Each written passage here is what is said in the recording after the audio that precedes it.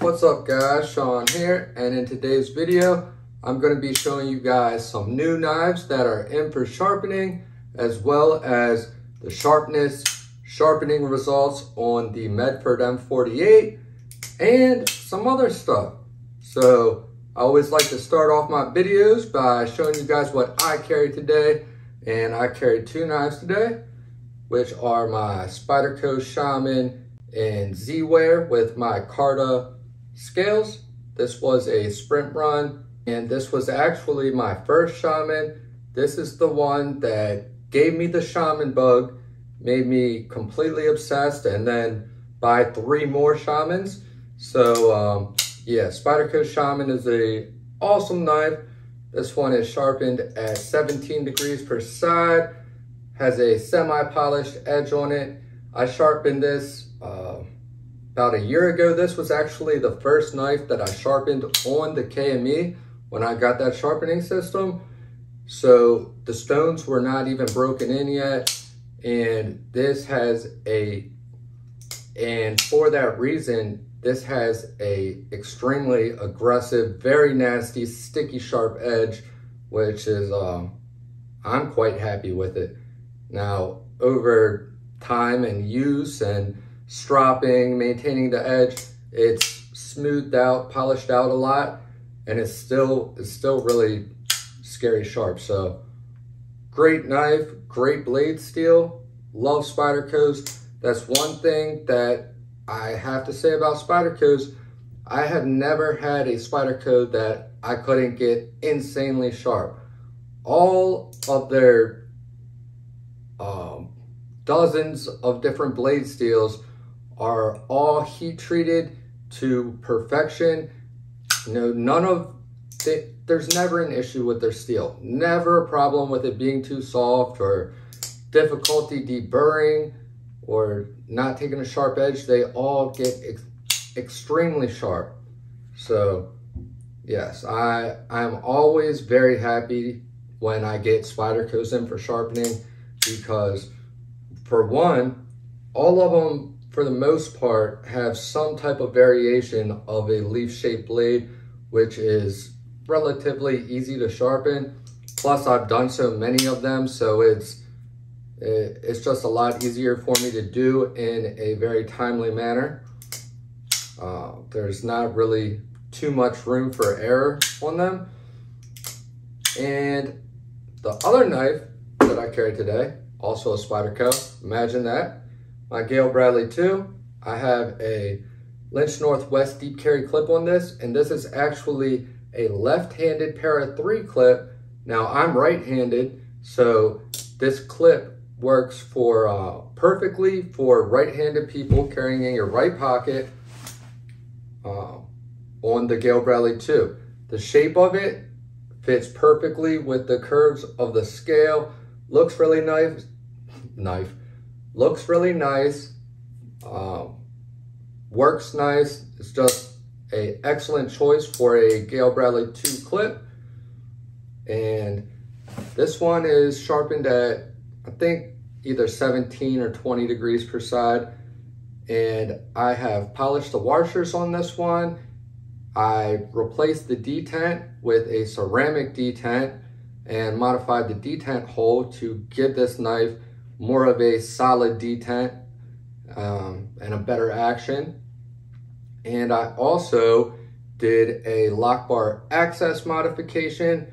I increased the lock bar access with a Dremel and kind of beveled the scale where your thumb goes to slide across there, making it extremely easy to manipulate this.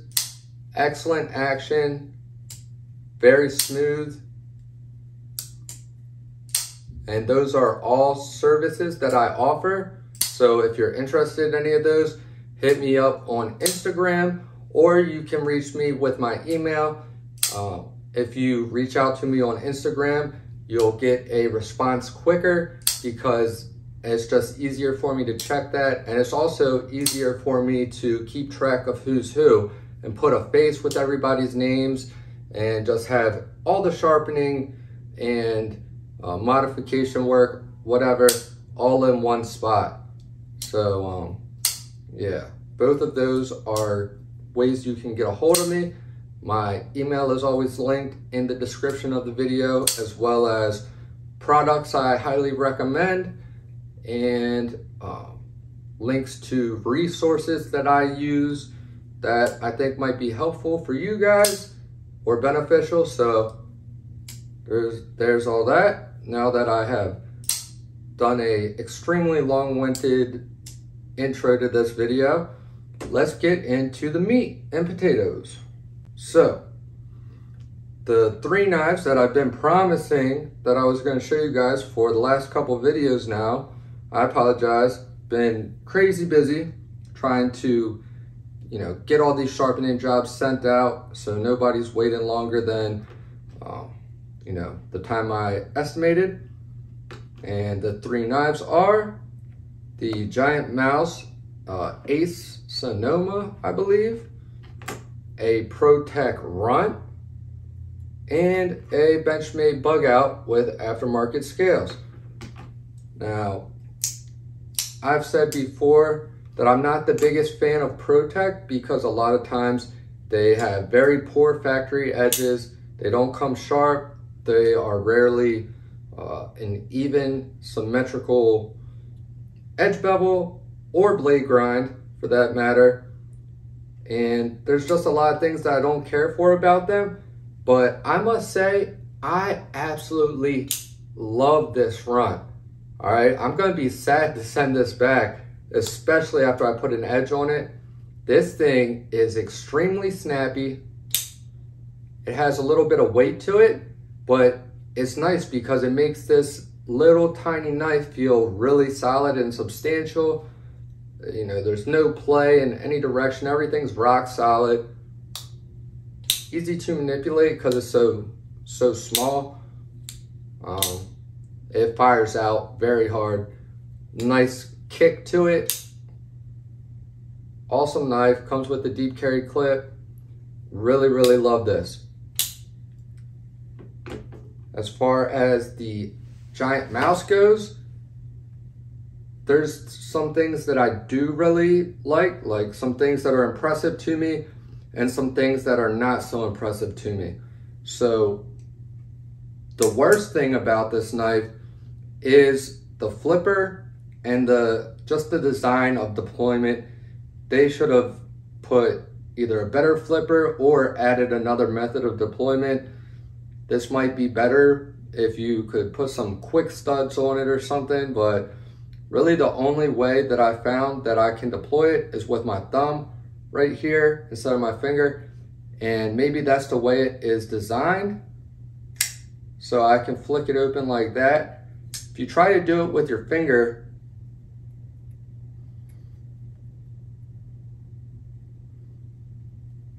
it's extremely difficult.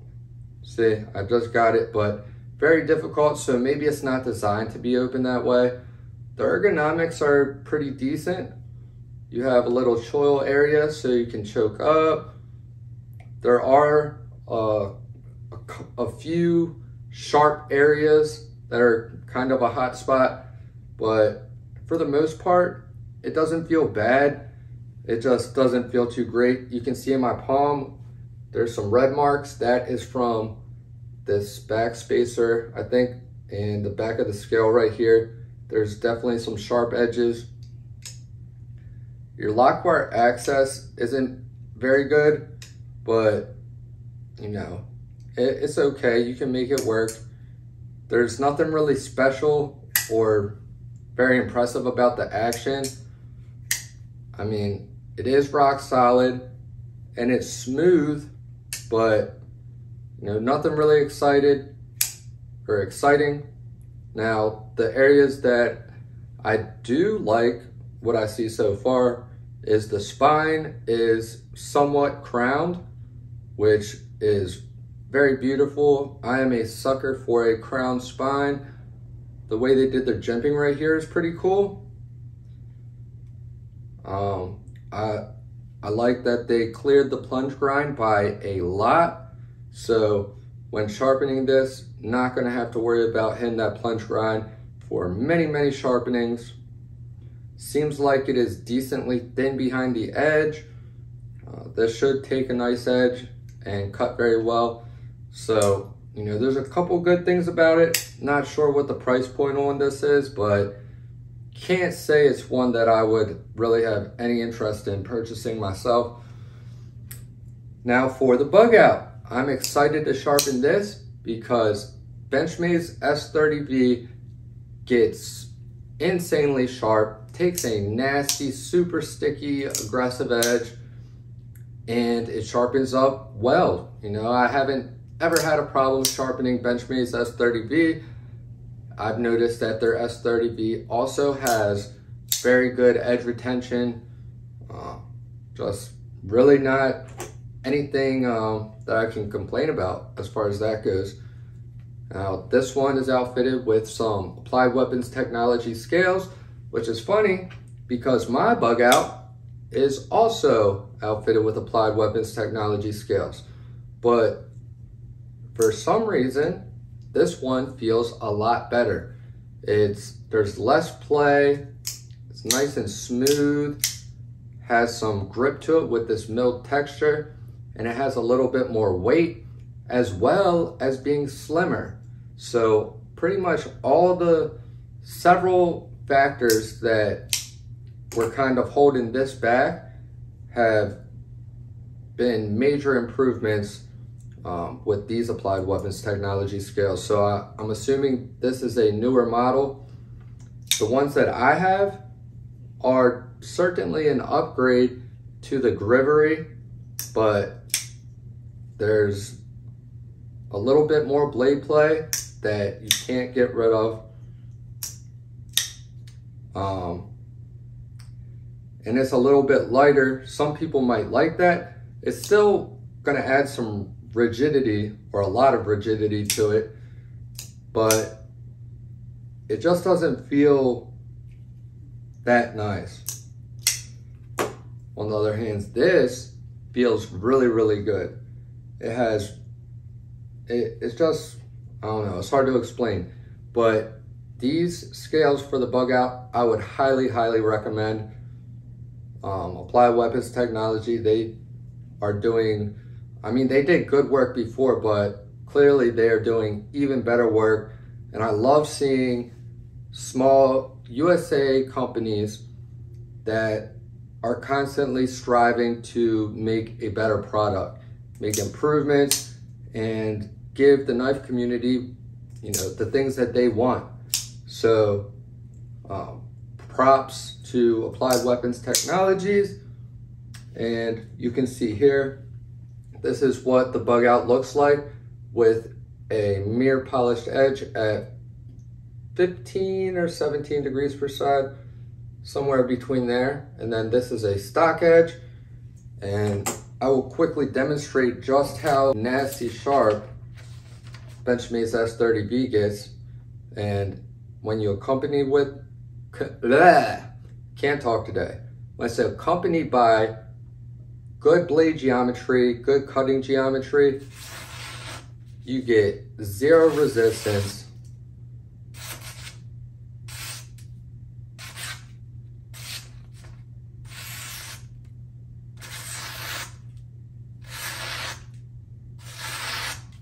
Beautiful. Absolutely beautiful.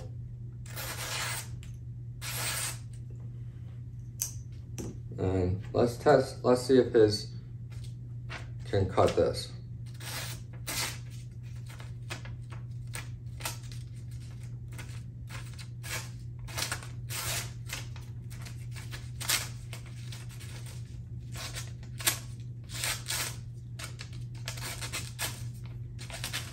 No. So that should give you a little bit of idea of the difference. Let's check this one. I never do before um, phone book paper test. So I figured this, since I have it out,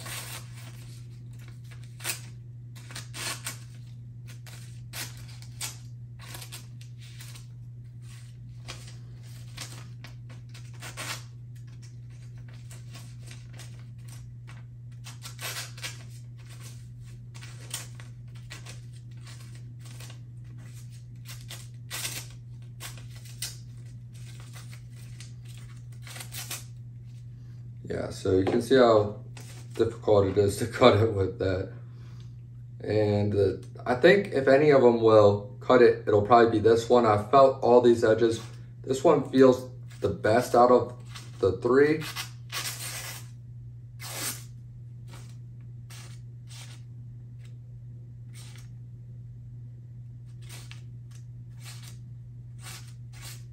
All right, so it's not gonna cut it back here. Let's try the middle.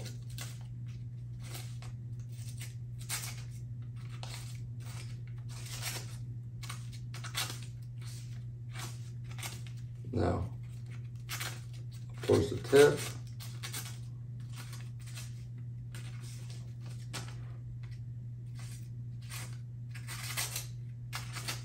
No. All right, so up near the tip is the sharpest area of this, but clearly all three of these are in need of an edge. Another one that is in for sharpening that surprisingly, with me being such a Spyderco fanatic, that I have not, um, that I've not experienced before for some reason is this Manix 2 lightweight. I've had a Manix 2, I have a Manix XL, but I've never gone for the lightweight. I always just figured it would would feel kind of cheap and stuff. Not really a fan of FRN, but guys, this feels excellent in hand. It's solid. The action is beautiful. The sounds are beautiful. Love it, love it, love it. I could do this all day. Very satisfying. So I'm super excited to put an edge on this. We'll go ahead and try this one. Maxamet is known to cut for a long, long time. Now, it's not known to keep it super fine, real sticky, sharp edge for a long time, but it it keeps its using edge, or yeah, it keeps a using edge or user edge, working edge for a long time.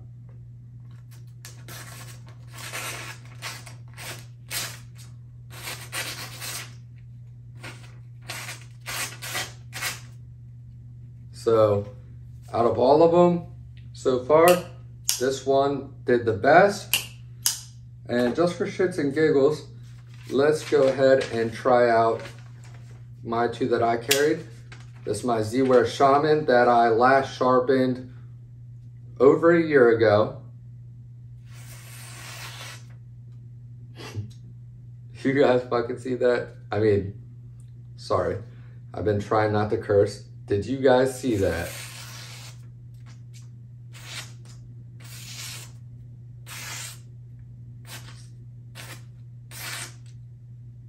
Beautiful.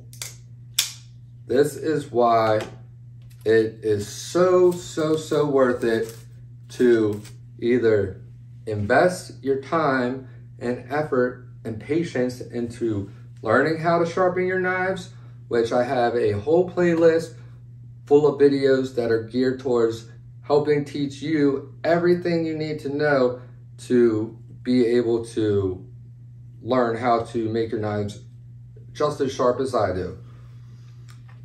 Um, or send them to a professional to have them sharpened. Let's see here.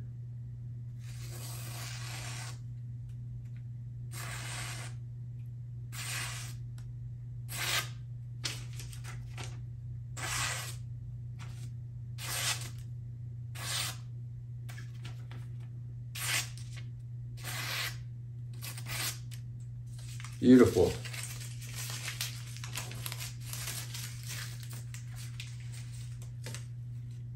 Alrighty. And now for the last part of this video, well, not the last, last part, but I wanted to show you guys the results of this so far.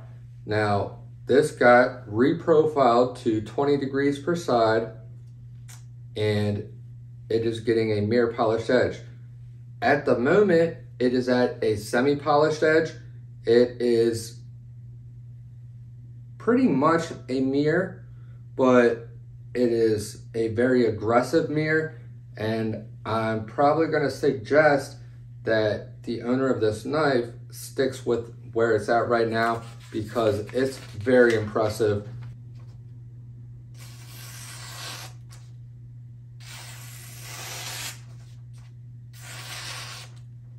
Beautiful.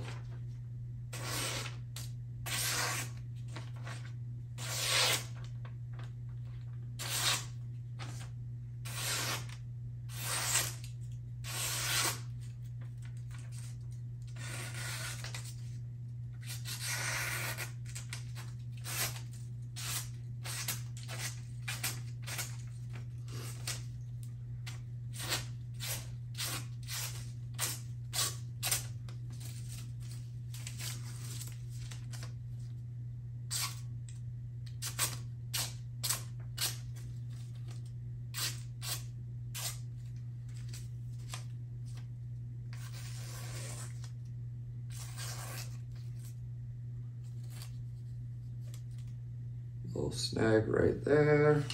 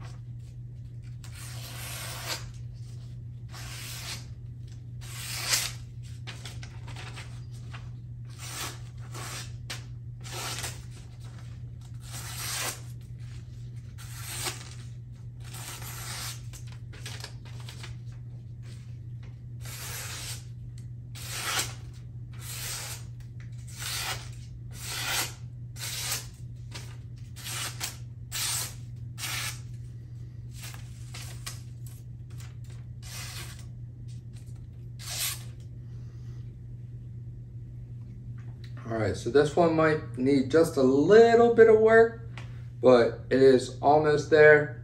Um, I will show you guys a quick close-up view of this and then we will call it a wrap. So uh, thank you guys for watching. I love you guys. Jesus loves you. Stay tuned. I hope you guys enjoy the close-up footage and I'll see you guys in the next one. Peace.